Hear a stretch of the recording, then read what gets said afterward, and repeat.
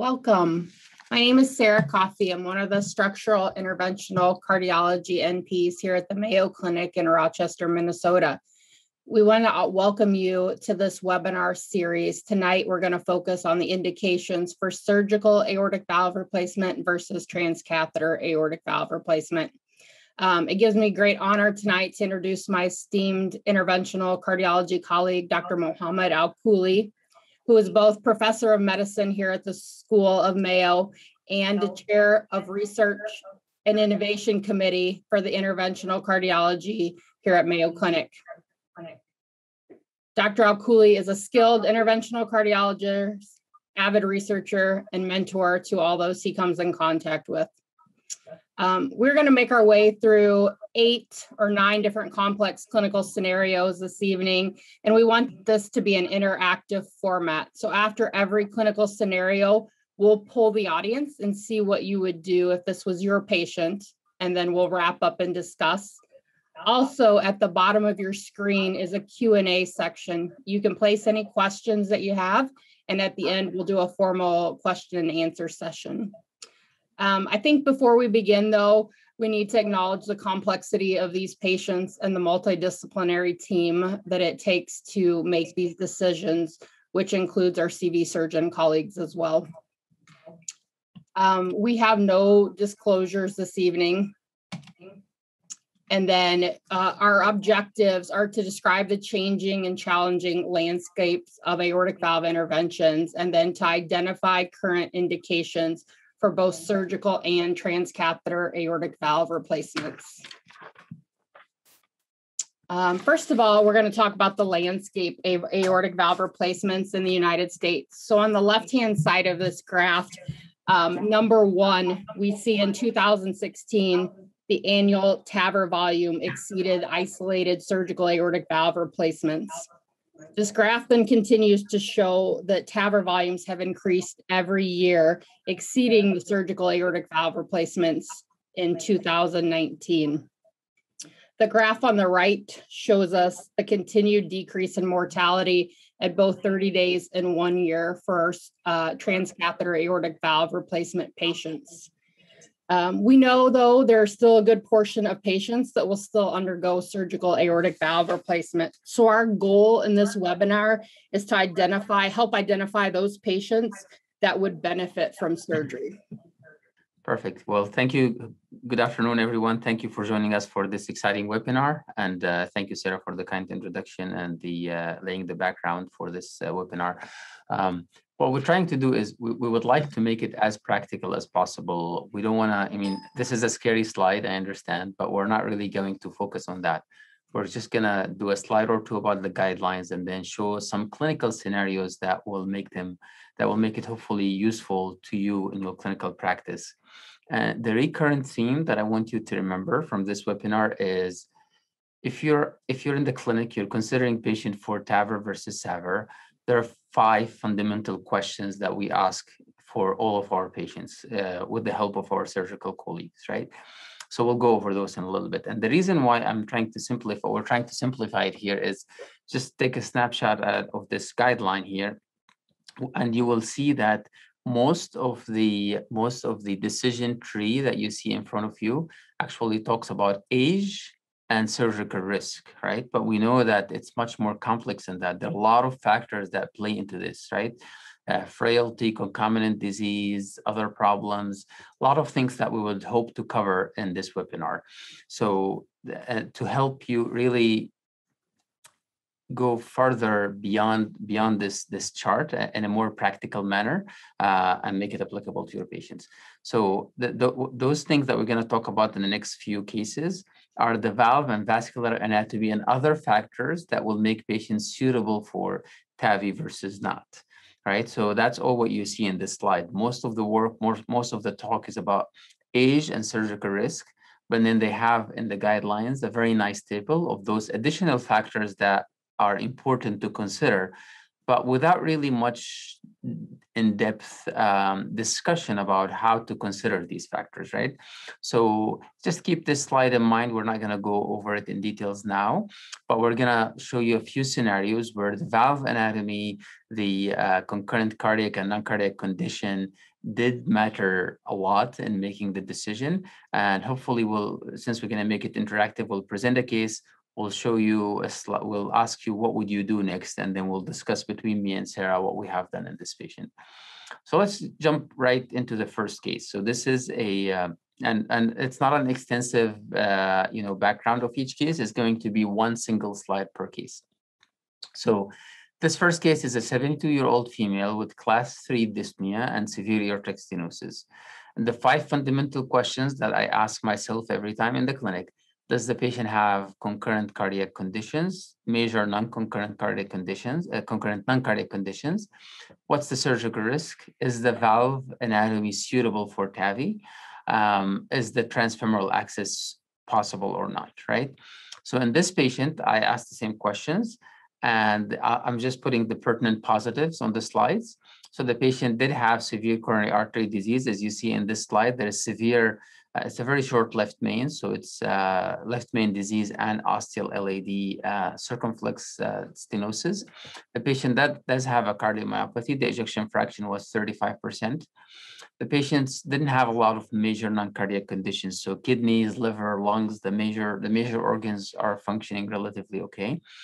Uh, yet the patient did have a high intermediate risk for uh, AVR and coronary artery bypass. Uh, so the, then the next the next question is related to the valve anatomy, which we could talk about in depth in subsequent cases. But mostly is the is the valve size suitable? Sometimes we have patients where the valve size is too small, or more often too large for the commercially available valves.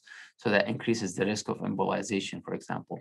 Another thing would be the coronary height. As we know, when we do TAVI or TAVR, um, we, we, we dis, displace the native the native valve into the annulus. So if the coronary arteries are very low in the aorta, the native valve can obstruct the coronary arteries. Uh, so these are a couple considerations for the valve anatomy to be suitable. We'll talk about some more later on. And then transfemoral access, is that feasible or not? Because we know that the femoral access is much lower risk than all of the other alternative access uh, options. So, so with this information that you have in mind, if you're seeing this patient in clinic today, what would you do? Would you refer this patient for surgical replacement? Would you do TAVR? Would you manage the patient medically because it's difficult to do either one of the first two options or you're uncertain? So please go ahead. You'll see you'll see the question popping out uh, uh, with the four options. Uh, select the best option for your practice, and then I'll go with a little bit of a discussion with Sarah.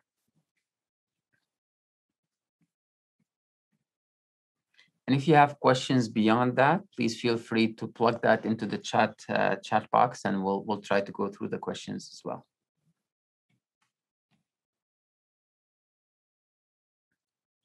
Okay, Great. so we see the results here. Uh, most of you, Sarah, do you want to go over the results? Yeah, so refer for SAVR was seventy-two percent and refer for TAVR was twenty-eight percent.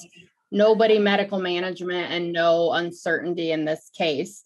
Um, Dr. Alkhouli, what did you choose in this patient? Yeah, I, I, I- sided with the majority here, so I, I agreed that, that surgical replacement would be a better option. Um, and I think, uh, this is the, the, the key thing I would also would like to emphasize. I mean, we, the heart team is essential and it's great to, for collaboration and for giving the patient the best option. But I would hope that we would still select the best for the patient regardless of, you know, if, if, if that, you know, the heart team was available at that minute or not. So this patient was sent for TAVR, really wanted TAVR, but we really strongly felt that the coronary disease would be difficult to address with a transcatheter approach. The surgical risk was not prohibitive. And we, we, you know, the, the surgeon and I discussed this and we went together to the room, told the patient the options that we, that we would prefer uh, SAVR and CABG over TAVR, Um, and the patient agreed with the recommendation.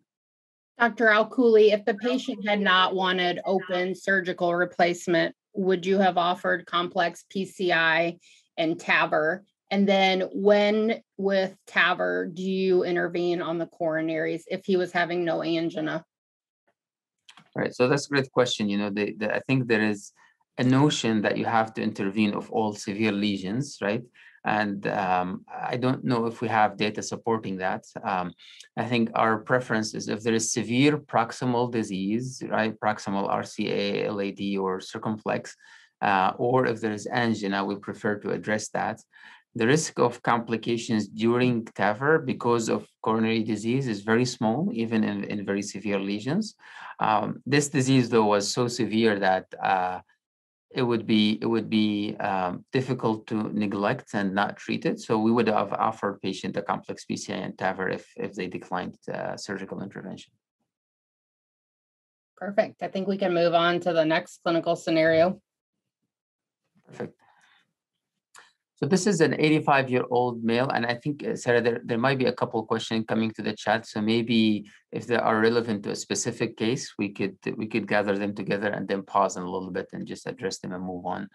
Um, so this uh, case number two is an 85 year old male with syncope and critical aortic stenosis. The gradient was 60. Uh, the patient, I asked myself the same five questions, right? Is there a concurrent cardiac disease? Uh, yes, there was severe mitral regurgitation, as you could see here on the transesophageal echo imaging. Um, was there any major non-cardiac condition? And the answer was yes. There is CKD stage four. The patient was also frail. Surgical risk uh, was 7.6% for mortality. The patient did have a suitable anatomy for both TAVR and uh, for TAVR through the transfemoral route. So the coronary height was, was appropriate, the valve size was good, there was no excessive calcification in the annulus, uh, and the patient did have a did have a good transfemoral access. So now this case takes us to the you know second complex scenario where what do you do if the patient has multivalvular multivalve disease, right? So we have severe MR, severe aortic stenosis, and what should we do here? Should we offer the patient uh, TAVR with the hope that we may, the MR might improve later on, or we could address that with MitraClip maybe? Or should we bite the bullet and do surgery? Surgical risk is not prohibitive, it's certainly high, but it's not prohibitive. So let's ask the audience, what would you guys do here?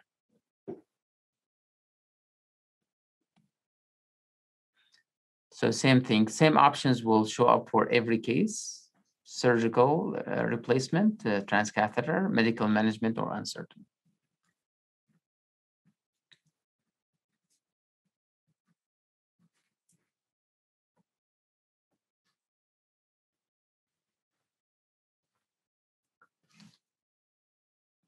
Here we have the answers. So Sarah, do you want to tell us what? Yeah, so refer for SAVR was 23%, SAVR plus MVR, or refer for Tavern, maybe uh, possibly staged MitraClip was 73% and 5% uncertain. Um, Dr. Alkhouli, what did you guys choose in this patient? Yeah, so that's that's a great you know it's, it's a great case to to discern you know what would we do uh, so the first, the question that we didn't ask here is if you have multivalvular disease and you're considering transcatheter intervention, you would want to include in your decision tree, is that valve disease, uh, residual valve disease, amenable to catheter treatment or not, right? Sometimes we have severe aortic stenosis, severe mitral regurgitation, but the mitral valve cannot be treated with MitraClip. So you know that by doing TAVR alone, you would be leaving the patient with severe MR, which does not improve in the majority of patients uh, based on multiple papers. Um, 60, 65 of patients do, percent do not improve their MR, especially if it is uh, primary or degenerative. So in this case, we did we did also do what the majority said because the, we thought that the mitral the mitral valve is addressable with mitral MitraClip. Uh, the surgical risk was high, the kidney disease was concerning. Um, so we offered the patient both options with the preference to TAVR and MitraClip. So the patient did have TAVR, uh, felt better, about 50, 60% improvement. The mitral valve did not improve. And we went ahead and did MitraClip successfully, which took away most of the symptoms. Perfect. Do you think the kidney disease plays a major role in that? I mean, making that decision with chronic kidney disease stage four and helping make that. Yeah, absolutely. You know, for one thing that I would like also that the, the audience to remember is uh, the risk of complication differs between transcatheter and surgical approaches and for each single complication, right? So for TAVR, the anatomy plays a big role, but for surgical intervention, organ function is very, very important. So you don't want to do a successful AVR and then end up on dialysis at age 86. So that was a major role, a major concern for the patient and the heart team as well. Fortunately, the anatomy was amenable to address all of it with catheter approaches. So uh, that was uh, fortunately successful in this case. And Dr. Alkhouli, we see this a lot with our transcatheter patients or severe aortic stenosis that they've got significant uh, kidney disease. You know, CT is needed for these patients. Is there any way to get around that, or what do we do here to help mitigate, you know, dialysis on these patients? Yeah, terrific question. So we have started looking into that. Um, where you know the originally the TAVR was all the valve size was all done with with echo and then data have shown that echo was suboptimal and if you do it with ct you get better results um, there is miss there is a difference in sizing but that was before 3d echo was available right so now we have 3d echo we use it successfully for the mitral valve. We use it successfully for the left atrial appendage closure. So we restarted doing that for selected group of patients who have severe valve, aortic valve disease, where we think we would like to do a minimal contrast approach, right? Um, so we do have a we do have an individualized protocol for CT for them, but we could also do uh, 3D TEE for confident with the measurement. Uh, then we could proceed with that in, in a selected group of patients. And thank you, Sarah, for not asking me about residual tricuspid regurgitation because we, we it's a difficult question, but I'm going to ask myself that because uh, we don't really currently have a transcatheter solution. It's an undertreated valve. And we know that a lot of patients who have very symptomatic TR, if we address the aortic valve, is not enough. Uh, so hopefully in the in the near future, we'll have transcatheter ways of dealing with that. But if not, then we should really have a second look about surgery and addressing the tricuspid valve. It's just a common thing that we see, as you, as you know, in our clinics. Yeah, perfect. I think we can move on to the third clinical scenario. Perfect. All right. So a little different case. So 82-year-old female with class 2 dyspnea, exercise intolerance. She still exercises. She's an active lady and uh, severe aortic stenosis. So surprisingly for her age, she still does not have major concurrent cardiac disease conditions. And again, I'm only putting the pertinent positive. So if there was moderate MR or some mild other disease, we don't we wouldn't list it here. We only list the major major ones. So if, if it was a mild CKD, we would not list it here. We would just list what would make, you know, make a major impact on the decision. Surgical risk was 6%. The valve anatomy was was high risk for TAVR. So this is the catch here, right? So things looked initially okay for TAVR until we reached the, the point of how we're going to land the valve in, in its spot. So I don't know if it's easy to see on the on the screen, but uh, there is a ton of calcium in the left ventricular outflow tract extending into the mitral valve.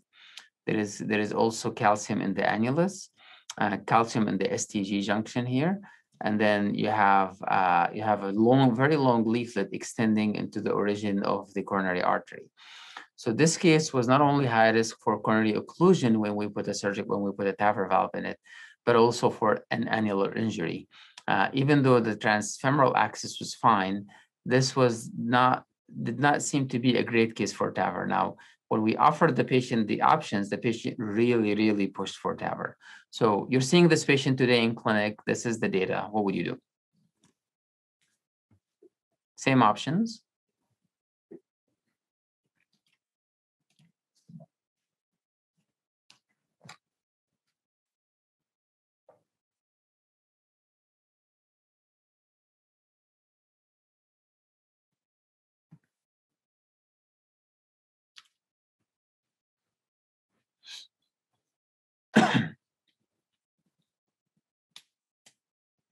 So we, we got the results. So refer for SAVR was 58%, refer for TAVR 33, 4% medical management, and 4% uncertain. So in this case, that's interesting, right? That's interesting. We did 33% uh, voted for TAVR. So let's talk about that. Yeah. So what if the patient was not a surgical candidate, what would we do to mitigate the risk of coronary occlusion to proceed with TAVR? Right, so some of you might be familiar with the basilica procedure, which is less intentional laceration of the aortic valve leaflet. to make it less likely to go and obstruct the coronary artery. This was certainly a consideration here. We do have experience with that. Uh, but the problem was we don't know if the leaflet was very long. Even if we do a basilica procedure, is that going to be enough to mitigate the risk of coronary occlusion? Uh, remind you that you know the the mortality if you get coronary occlusion, even in the best hands, is over 50%. So we're very, very careful with uh, when when that risk shows up, right?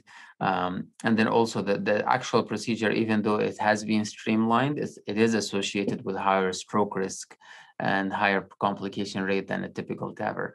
So we did offer the patient a, an attempt for basilica and uh, TAVR at the same time with potential coronary uh, protection as well uh, versus SAVR. And eventually the patient agreed to undergo SAVR and they also have done well since.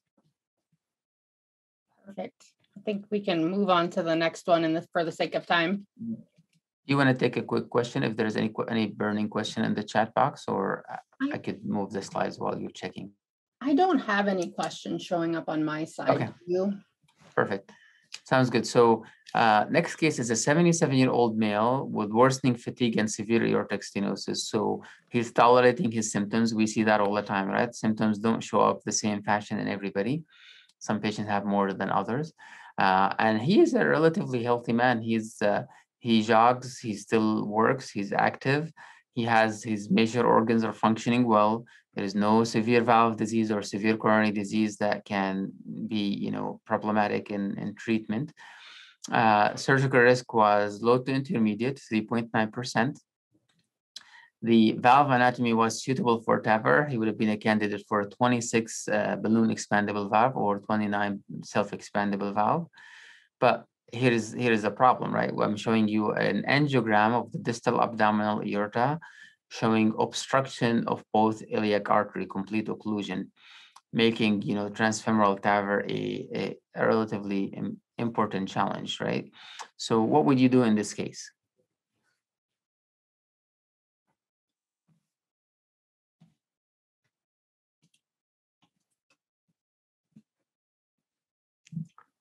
TAVR, TAVR, medical management, and uncertain.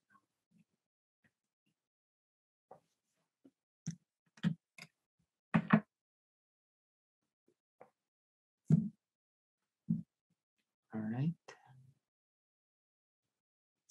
So the poll is back. Uh, 48% said refer for SAVR, 38% said refer for TAVR, 5% medical management, and 10% uncertain. Great. Yeah, so here this shows us, you know, the importance of the other team members in the heart team. The heart team is not just a cardiologist and a cardiac surgeon, right? We get, we have access to other specialists who know more than us in, in other areas. So this this is a great example of that. So this patient actually underwent TAVR, um, uh, where the the even though he had uh, relatively you know, chronic occlusion of the iliacs, but the vascular surgeons deemed that this is actually pretty amenable to transcat to to uh, to opening the artery with a stent. Uh, so, and it was actually much smoother than what we have thought as cardiologists, right? So the plan, the the the uh, the procedure went as the patient uh, had a you know balloon uh, PTCA of his of his iliac artery, opened the artery, put the sheath in, did the TAVR, and put laid the stent out, uh, laid the stent in the iliac artery on the way out. The patient had severe aortic stenosis and he was less, uh, becoming less active. So he didn't actually pay much attention to potential claudication symptoms. But then after we did the TAVR and opened the artery, he said, well, I feel a lot better. I'm moving, now he's moving more and his left leg now has claudication. So he came back for a second intervention on the left side afterwards with the vascular surgery team. So, so even though SAVR would have been a safe bet here, uh, knowing that you know it's always it's always the same question. This other problem that you have, is it addressable with a catheter approach and not? That's number one. Number two, is the catheter approach low risk or high risk versus the surgical approach? And we always try to select what would be the best here, right? So great question here. I'll move on to the next one. I think uh, our poll opened unexpectedly, so we'll close that. So the next case is a 74-year-old female with shortness of breath, severe bioprosthetic aortic stenosis. She's had two prior sternotomy. She's had an aortic valve, uh, a small aortic valve, 23 millimeter, uh, and she has a high gradient across that valve, and she's symptomatic from it. So she comes in for evaluation, and the CT scan shows this image, shows that she's had a, a large ascending aortic aneurysm, uh, relatively calcified aorta, but not porcelain aorta. Uh, and then uh, because she's had two prior surgeries and the dilated aorta, uh, she was deemed to be high risk for surgery. STS score was 11%. And then she did have, uh, you know, suitable valve anatomy per, uh, for a valve and valve, but there were two problems. We would have to put a smaller valve inside and the coronary height, even though it was suitable, it was borderline low. And some people here feel that if you put a self-expandable valve, you will get a better area. But the concern here is, as, as you guys all know, the self-expandable valve has a crown on the top, and the crown can bud into this uh, dilated aorta and cause a dissection. So the option here would have been a, a balloon expandable valve um, that is 20 millimeter in size versus going for redo surgery. Uh, so really challenging scenario that took a lot of uh, discussions with the with the with the heart team and with the family. What would you do in this case? So surgery here would not just be aortic valve replacement, it would be root replacement plus replacing the aortic valve, right? It's a third redo. STS score is 11%. TAVR here would be putting a 20 millimeter uh, balloon expandable valve and leaving the aneurysm alone. Medical management may not be a bad bet either here, but she is fairly symptomatic and she's 77. Let's see what people would have select here. So refer for SAVR was 57%, refer for TAVR 24. Uh, 5% of people would pursue medical management and 14% uncertain. Um, what did you What would you do, Sarah? I was going to Um, ask you, what would you do? I probably would go for surgery and address both of them, but I think if the patient, if the, it, were- I would look at the aneurysm, see has it been stable over a period of time. If it was stable and patient preferred TAVR, I think that would be an option. Mhm. What do you, what would No, your comment be on that? Yeah, and, and you know, a question just showed up also. Uh, can you, you know, it's a great question because it addresses what we said earlier. Can this additional problem be addressed with the catheter approach, right? So the the the uh, Ruth is asking, uh, can we do endovascular graft to the ascending aorta and then do TAVR? Uh, and that's why exactly we pulled our uh, advanced, you know, uh, cardiovascular surgeons. We do have surgeons who do TAVR, but we have some surgeons also who do endografts uh, among in the TAVR group. So we we we we brought them to the picture and we had a multi-surgeon discussion. So we had a couple surgeons and two cardiologists weighing in here. Uh, we felt that uh, an endograft would be not feasible here. We're not there yet with that technology to address this this particular anatomy. Uh, and then the, the surgical approach, despite its high risk, would still be more preferable the the the aneurysm was stable as you you asked that question it was stable for a couple of years before but uh, the, the worry about you know the coronary occlusion the small valve size having a prosthesis mismatch and having residual symptoms is what made the team decide to offer the patient the high risk surgery and this is another great thing here right so she was initially seen by a cardiac surgeon who does not do uh, aortic work right? He doesn't do uh, vascular work. So we we were not shying away from pulling another surgeon into the mix where, you know, he he asked for a second opinion. And uh, fortunately, we had that great discussion with the family. They felt, confident with the surgeon who does both interventions and they went for surgery. Perfect. I think we can move to the next one. If people are getting tired, I'm sorry if, if this sounds like a marathon. I mean, the goal is not to go through too many cases. The goal is to really stick these five questions in mind, uh, where anytime you're seeing a patient, right? ask these five questions and ask your surgeon, you know, if you're an APP working in the clinic, well, why, why do we do this? Why don't we do that? Sometimes you will be surprised how many times Sarah has called us out on things uh, or pay, you know draw draw our attention into other aspects that we we did not we we could have missed. So so it's you have a very important role in the heart team and uh, but sometimes categorizing things in in a simple you know five question format or some question format would be helpful in in not missing anything. So the next case is an eight year old female with class three dyspnea occasional dizziness, and severe aortic stenosis. And remember, dizziness is either a sign of very bad aortic stenosis, because it could be a pre-syncope kind of thing, or it could be a sign for some concomitant disease, right? As you see in this case, the patient was found to have hypertrophic cardiomyopathy. These patients typically have uh, syncope, pre-syncope, or dizziness as part of their symptomatology. So keep that in mind as you have some other symptoms, some TAVR symptoms are typical, like dyspnea. Some other ones are not very typical. So use that as your hint to the concomitant pathology here. The patient was frail. She has CKD stage four, and she she was she was evaluated for a, a combined aortic valve replacement and hypertrophic cardiomyopathy surgery, uh, which is myectomy.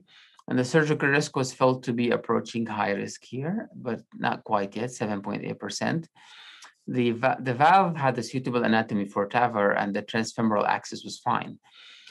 So let me ask you now, you see this patient in clinic, in your particular clinic, would you do uh, SAVR and myectomy? Would you do TAVR and alcohol septal ablation? Would you do medical management or not sure?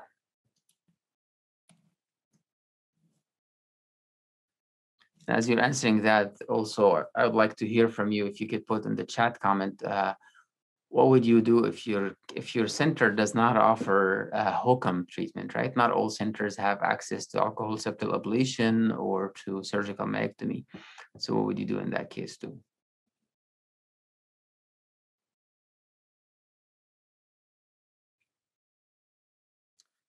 So answers are in. Refer for SAVR and septal myectomy would be 24%. Refer for TAVR and alcohol septal ablation, 62%. And then 14% uncertain. Right. So so that's higher uncertainty than usual, right? Uh, so that brings us to that. I think that that is an important consideration is what will you do if your center doesn't offer them? And I could tell you that the, the mean myectomy volume per centers in the US is one to two cases a year. That's most centers because it's not a common thing and uh, most centers don't do enough of it. So some people may or may not have experience with uh, with that that uh, that kind of surgery. Same thing for septal ablation. The volume is a little bit higher, but still it's condensed in certain in certain centers. We're we're fortunate to be one of the sites that we have we do a lot of myectomy surgery. So we had the myectomy surgeon look at this. They offered the patient a high risk uh, and myectomy, and we offered the patient uh, TAVR and um, they have the suitable anatomy for alcohol septal ablation. So we actually came to the patient with equal recommendation here. We said they're both comparable in our opinion, and we'll let you decide. Uh, because of the frailty and the kidney disease, the patient was a little bit, you know, had a little bit of a preference towards the transcatheter approach. So this patient is actually scheduled for a septal ablation followed by TAVR soon. Dr. Alkhouli, what would be the risk of just proceeding with the TAVR and not addressing the HOCM for this patient? Yeah, great question. You know, there's something called suicide heart. Um, which is a weird, uh, uh, I guess, nomenclature, but that's that's the term that's used in the literature, uh, where sometimes you do TAVR, you miss that there is HOCM in the mix, and then the patient does not respond. They go into incessant VT, and they sometimes they they they die from that. That's because you know you're opening an obstruction, but you're leaving another one the heart is is used to have a chronically elevated pressure and you take away that pressure by fixing the aortic stenosis the heart becomes more hyperdynamic right? And then that we know that hyperdynamicity is is the enemy of HOCM so you're sort of worsening HOCM creating severe MR on the table what is sometimes not recognized. And remember we now do most of our procedure with transthoracic echo. So depending on the windows, uh, you may actually miss that. And there have been papers showing that a couple percent of patients with severe AS some have have HOCM. Now, this is only relevant in the severe form of HOCM, like this case, right? That you could see from the image here that there is a uh, there is already a uh, systolic anterior motion of the mitral valve, and it's it's a significant HOCM. So yeah, suicide ventricle is what we fear with the cases of HOCM. If it's mild, then most of the time you're okay. You just have to pay attention to hydration and beta blocker at the time of the case. But if it's severe, we would strongly recommend that we address that too. Perfect. Thank you. All right, a couple more cases here. So this one is also an 83-year-old male with class 2 dyspnea, chest pain, and severe aortic stenosis.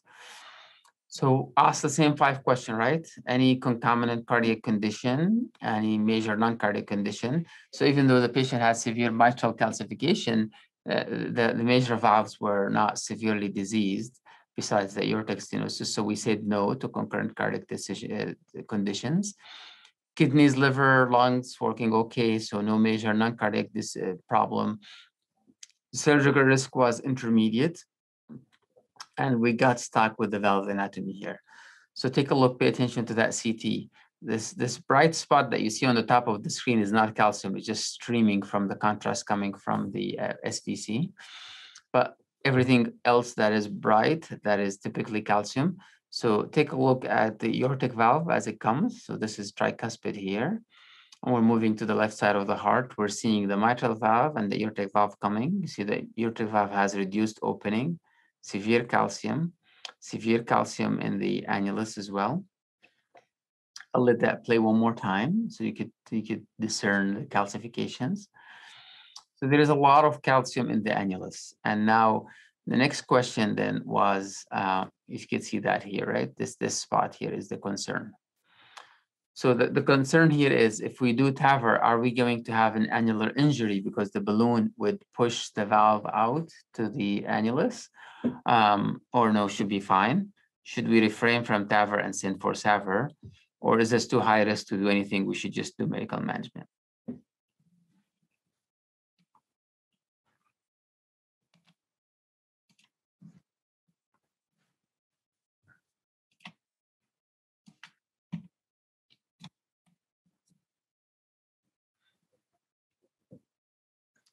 Uh, so results are in, refer for SAVR sixty-eight percent, refer for TAVR sixteen percent, medical management eleven percent, and uncertain five percent.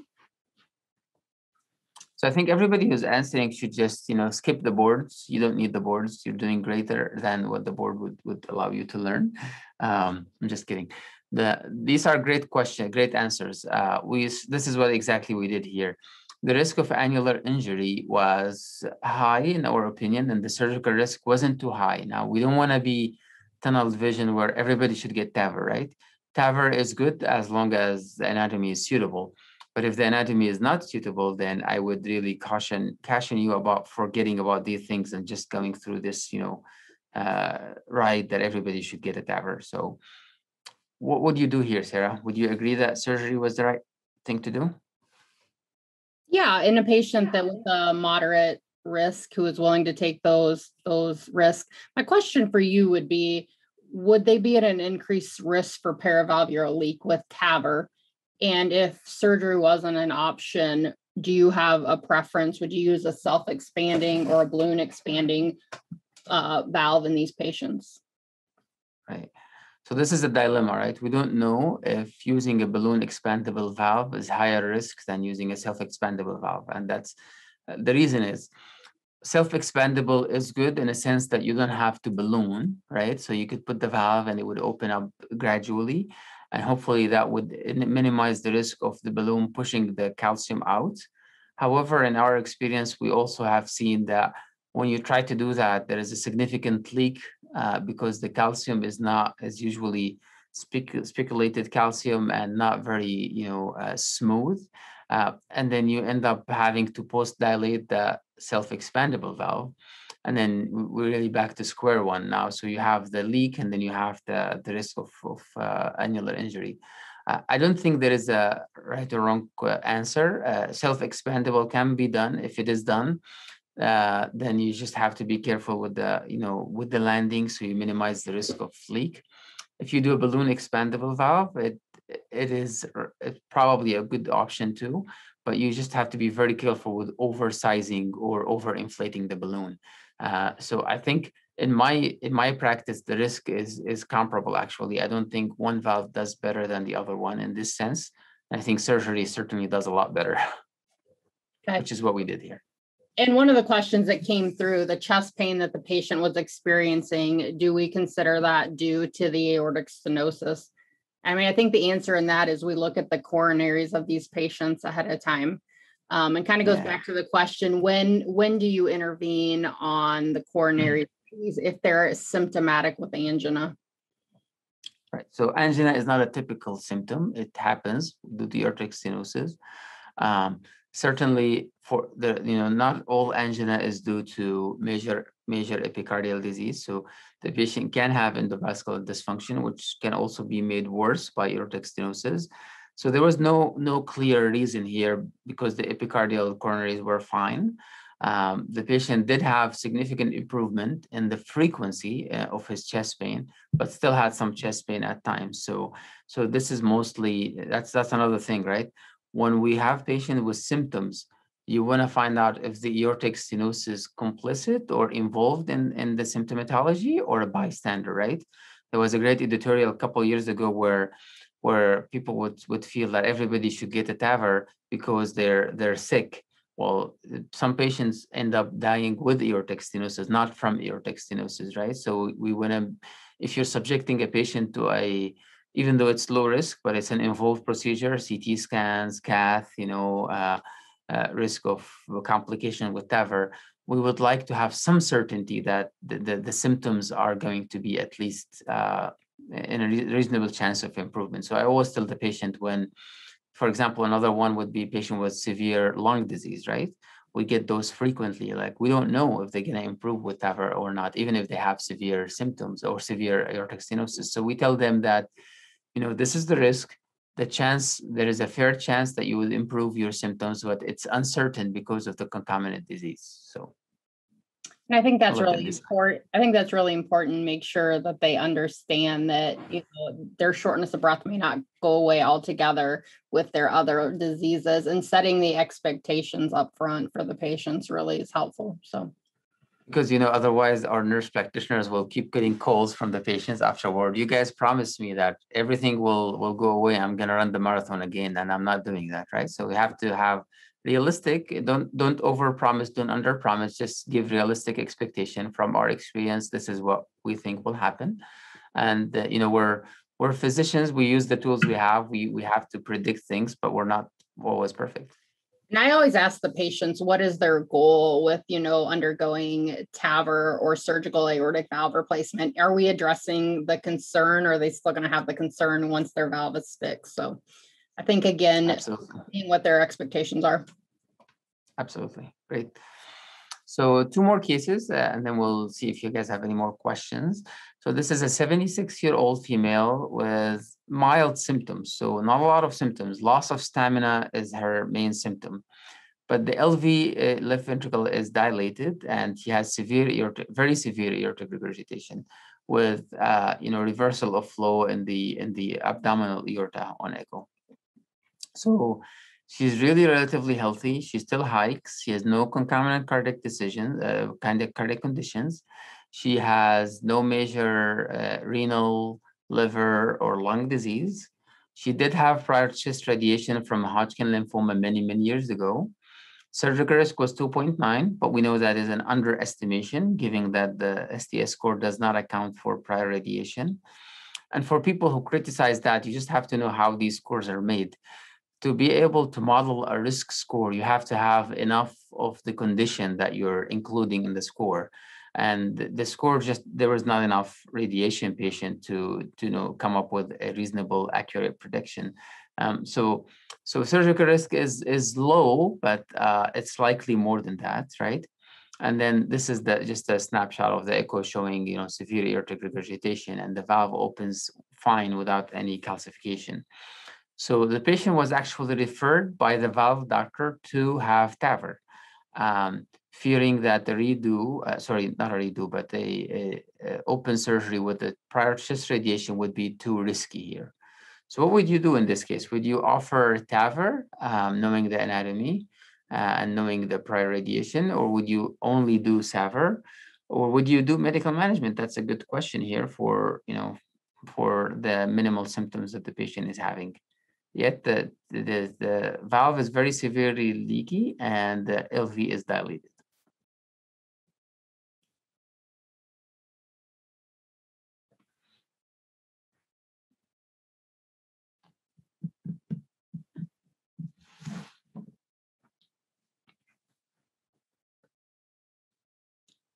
So on this one, we had refer for SAVR 67%, refer for TAVR 19%, medical management and 14%, and no uncertain.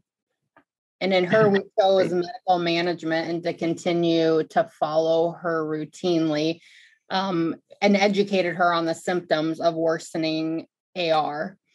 If the patient presented back to you in six months and was now symptomatic and declined surgery, would you offer her off-label TAVR for AR, and what would her risk be with that? Great question. So we did a combo of one and and uh, three here, right? So we said uh, no TAVR. We will medically manage you now because symptoms were mild, even though we have dilatation in the in the uh, in the ventricle. We tra- we traced the echo, the multiple prior echoes, and it was very mild change. Uh, and she's a very you know highly very smart patient who is very has a high high understanding of her disease. So she preferred not to do the intervention now but when she comes back we said surgery will be option number one. TAVR is not out of the picture but as you know the risk of embolization is higher with the lack of calcifications that anchor the valve in the annulus and the the procedure is considered off label is there any anatomy that makes it less high risk for AR? Anything that helps favor TAVR and AR? Yeah, so actually she has she has a slightly favorable anatomy because the valve is not very large, right? So you have a chance of putting a self-expandable valve and oversized by a lot. And you if you oversize adequately, then the chance of embolization is a little bit less. Um, the problem is most of those patients actually are not her. Most of those patients are patients who have bicuspid disease, dilated aorta, very large annulus where they would need a very large valve. So your chance of oversizing is, is smaller. Um, so her anatomy is, was actually more favorable uh, despite the lack of calcium compared to most of the patients that we see referred for uh, for TAVR for AI. And, um, and you know, the, the, the issue also of off-label brings an important consideration here, which is um, what does that mean exactly? If you tell the patient off-label and they, they go home, they may celebrate, yeah, I got an off-label procedure, I'm very happy. Uh, off-label means that the, the intervention proposed is not, the, the device that we used for the, using for this is not designed to do that, right? It's designed to treat a different disease. But off-label things happen fairly frequently. I mean, if you look at the national registries, uh, a lot of interventions are designed to treat one thing, and then you see some indication creep, and the, the devices start addressing other problems. The problem with that is that sometimes payer would object and would say this was not done in on-label fashion, and therefore we will not reimburse the procedure. So we discuss all of that upfront with the patient that there is a financial risk uh, with this procedure. If there's no other option, then then the, most patients will still elect to do it, but that has to be kept in mind. Perfect. Okay. We'll move to the next case, and then I think a couple questions came through, so we could address them after. So this is actually a relatively similar. Uh, I guess that that that's a little bit of a cheating on the slide because you could see a TAVR valve here. I missed that. But anyhow, so this is an 86-year-old male with class 2 dyspnea and severe aortic regurgitation. He didn't have a lot of concomitant cardiac disease. His EF was slightly reduced, but not a lot. His aorta was dilated, but uh, still within normal limit. I think was slightly enlarged, 4.4 centimeter. Um, he had some cognitive decline, even though he drove many miles to come to Mayo by himself. There was clearly some memory issues and some cognitive decline. He was frail. His STS was close to high. And he the, the, the question was, should we do TAVR and SAVR? And I guess since I already uh, displayed the answer here, we could skip the question and just have a discussion here about why, why did we select this? And we could contrast reason, this with part of the reason we chose TAVR for him was patient preference. He did live alone and had no family to help take care of him and was worried about long-term rehabability. So um, again, his preference mostly there. So that's that's exactly correct. So we, we treat the patient as a whole, right? So the social aspect are very important sometimes, especially we, we learned this, especially during COVID, right? Patients, the rehab centers were very tight and uh, had very stringent criteria. And patient who undergo surgery, they really need good home support. And if there is nobody, this man lived literally alone in, in, a, in a city that was many miles away, many hundred miles away from Mayo. So, so we, he, he strongly said if you could do something without surgery, we prefer that. And then we did all the techniques that we can, we employed all the techniques that we can to minimize the risk of embolization. So we selected a self-expandable valve, which typically are deployed, uh, are typically deployed without pacing, but we did rapid pacing and uh, slow deployment. We left the valve uh, two-thirds of the way deployed for about uh, 10, 15 minutes to make sure it's not uh, moving and that was successful. The patient did well, and he went home in two days after that. Um, so, despite the fact that you know the anatomy was not extra, was not great, the first patient had a better anatomy, but the other conditions here played a role where we decided to go with surgery, right? So I think that sums up the cases. Sarah, do you have any a couple questions in the chat box, and then we could just summarize those conditions that we talked about that impact yeah, our decision to go for? One of the questions says, how do you choose what type of TAVR valve, meaning self-expanding versus um, balloon expandable in all cases? What do you take into consideration? Right. So certainly, uh, we we typically, you know, that's that's sort of like an operator preference. Uh, in our practice, we use balloon expandable valve for the majority of patients. We use uh, self-expandable valve in patients who have very small annulus, sometimes for valve and valve, sometimes for calcific annuli. Um, and I think there is most of the clinical trials and the observational data that is out there have shown that they have comparable uh, performance. So I think uh, overall it's it's an operator preference. I do suggest that if you that you you gain experience in both valves, even if you are predominantly doing one of the two, uh, it will not be ideal if you only do the other kind maybe once a year or twice a year. So I think a reasonable strategy, site-specific strategy for selection would be important here. Okay. And then um, one of the other questions was, when is aortic annular calcification too much to proceed with uh, TAVR safely? When do we get, when do we look at surgery instead? A great question. We we use uh, the calcium score of the aortic valve and the annulus. Typically, when it exceeds 4,000, we we start pausing here. So the patient I showed you, we, didn't do it. It was uh, 6,800, uh, the the valve aortic valve calcium score.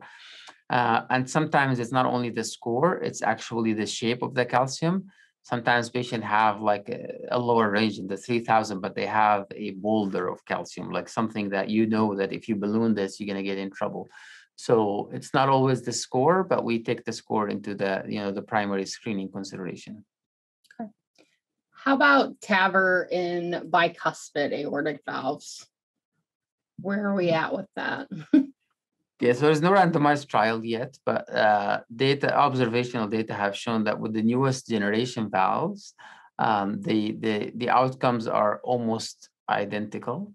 There is some data showing a slightly higher risk of stroke if you have bicuspid valve, but other data showing comparable results. So in our practice, bicuspid valve is becoming less of a determinant of which route we go unless there was a concomitant aortic disease, which we know is common, right, in these patients if you have aortic dilatation, or if the age is too young, because some of those patients typically are in the younger spectrum of, uh, of AS patients.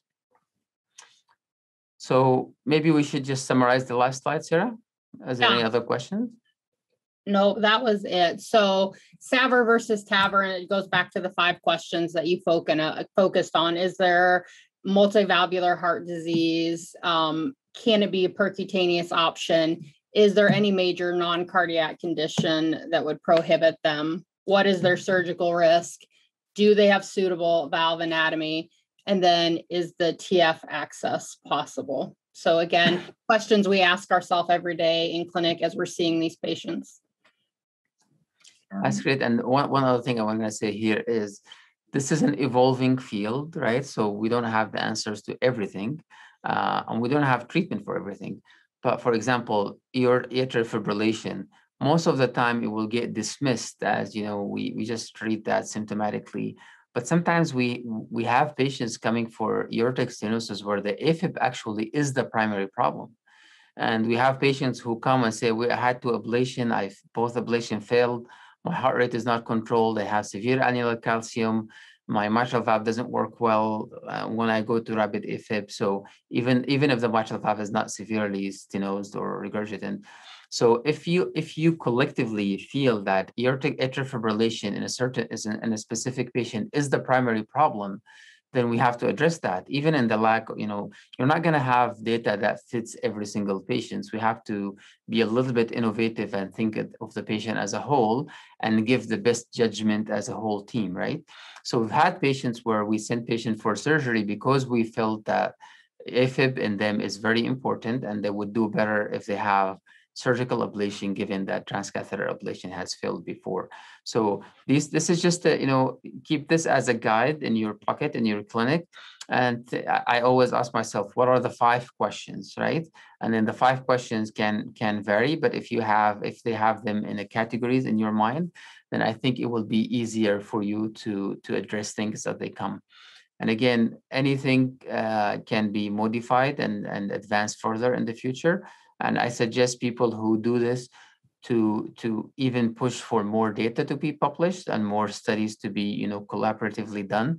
Uh, then then we we will have like in a few years. I am hoping that when the valve when the valve practice evolves into the best TAVR valve, the best TAVR valve that we have, then the, the clinical decision also evolves into the best decision tree that any that is simple, that is nimble, available in every clinic, and uh, and then can lead to a productive discussion. So I think we're nearing the end of our time, um, and we just wanted to say thank you for allowing this opportunity and joining in our webinar this evening. Um, if you have any further questions, we're going to uh, provide our email address if you can advance the slides, um, and you guys can email at any time and let us know. So Sarah, I see that you didn't put your Twitter account, you only put mine. I just tweet your stuff. Thank you for that. Well, So- thank you, everyone. Thank you for the opportunity. This is, I, I always enjoy, you know, ha- having uh, discussions with our nurse practitioners in the clinic and our heart team. And uh, it is really, this is, this is what makes the TAVR clinic more enjoyable than just, you know, going through the motions and, you know, okay, we're gonna just do TAVR. Those patients that have, that, that are, bring more mentally stimulating scenarios and we they they feel that we're trying to think hard we're trying to do the best to come up with the best decision for them and they always feel appreciated uh, so thank you all for joining us today and looking forward to seeing you again in a, in a future webinar